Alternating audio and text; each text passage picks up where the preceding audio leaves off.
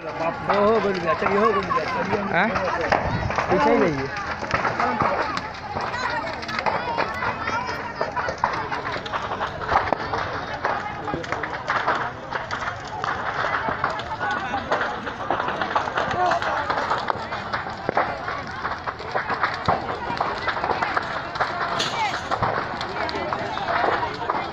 गेहूँ साफ़ होगा इधर का फिक्स है। कोई नहीं रोक पाएगा आप गेहूँ को। गेहूँ का कोई भी नहीं रोक पाएगा अब।